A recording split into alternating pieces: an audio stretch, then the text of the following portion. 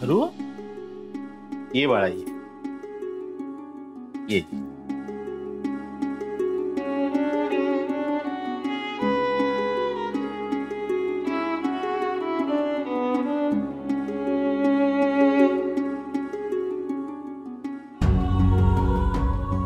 तुम्ही प्लीज़ मनाला लावून घेऊ नका. हे बघा काहीतरी गडबड आहे नक्की.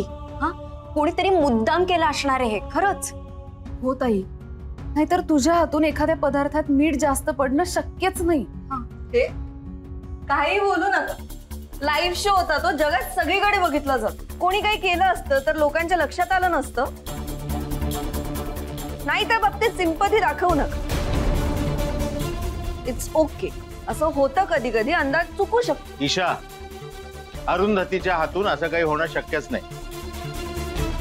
इतक्या वर्षात तिचा तिखट मिठाचा अंदाज चुकला नाही. मग आता कसा चुकेल? हा निर्णय मला मान्य नाही. अप्पा जर जजेसने चुकीचं जजमेंट दिलं असतं तर लोकांनी त्यांना सोशल मीडियावर ट्रोल नसतं केलं का? असं काही होताना तुम्ही बघितलं का?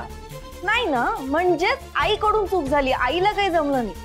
तिने चटणीत जास्त मीठ घात असं काहीतरी होणारच होतं. एवढ्या मोठ्या कॉम्पिटिशन मध्ये पार्टिसिपेट करायला मी नको म्हटलं होतं आई मी म्हणालो होतो आईला की तुला हे जमणार नाही तू पार्टिसिपेट करू नकोस. पण बाकी सगळ्यांनी तिला डोक्यावर घेतलं. आणि ती सुद्धा हवेत गेली. तिला वाटलं की आता ही कॉम्पिटिशन आपणच जिंकणार. फुकट स्वतःचं हसू करून घे.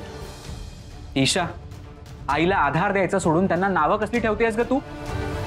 जाऊ दे अनिश. कोणाला सांगतोयस तू हिला?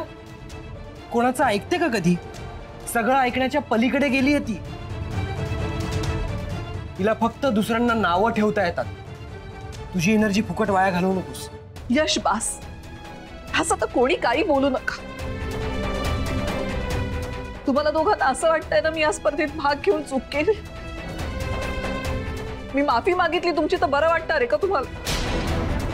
ठीक आहे मी माफ़ी मागते चुकलं माझं. नको होतं मी भाग घ्यायला बास. शांत. बस जरा तू. यश अरुंधती ऐक मग. बस ये. ये. बस. काय करावं? मला काही सुचत नाही रे. खूप अस्वस्थ वाटतंय मला. आम्ही पाणी आणतो. तुम्ही पाणी प्या तुम्हाला बरं वाटेल. नकोय मला. मॅम तुम्ही खूप जास्त विचार करताय. प्लीज़ ओव्हर थिंक नका करू शांत व्हा. कसा विचार करू नको? मी आणि मिहिरनी खूप मेहनत केली होती या स्पर्धेसाठी. आणि फक्त मी नाही यश अनघा ती आरोही सगळ्यांनी खूप मदत केली होती मला. सगळ्यांच्या आशा लागून राहिल्या होत्या आणि त्याच्यामुळे हरलो आम्ही. मी नीट खेळायला हवं होतं, लक्ष द्यायला हवं होतं. आई आई प्लीज़ तू का स्वतःला दोष देतेस? मला मान्य आहे तुला या सगळ्याचा खूप त्रास होत असणार आहे. पण यात तुझा काहीही दोष नाहीये. हे सगळं त्या संजनाने केलेलं आहे. काय रे हे यश? संजनाला का मध्ये घेतोयस? तिचा काय संबंध? कारण संजना आईला हरवायला काहीही करू शकते. यश हो का? मग तर तू संजना आंटीवर लक्ष ठेवून बसलाच असशील. आणि हो तुझा लाडका मित्र अनिश पण होता तुझ्या बरोबर. होय नज़र ठेवून असेल ना तिच्यावर. मग? तुम्हाला दिसलं का? तिने काय केलं ते? आईची डिश बिघडवताना, आईच्या डिश मध्ये मीठ घालताना तुम्ही पकडलं का तिला? हे फ़ोटो काढला का रे? डायरेक्ट शूटच केलं असेल ना? दाखव बरं. आता का बोलती बंद झाली? नाहीये ना काही?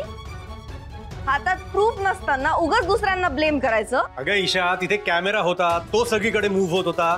आम्हाला वेगळं शूट करायची काही गरज नव्हती. मग तर प्रश्नच मिटला. संजनाने काही केलं असतं तर लोकांना दिसलं असतं. कोणाला काहीही दिसलं नाहीये. म्हणजे संजना क्लीन आहे. उगीच ब्लेम गेम खेळू नका प्लीज़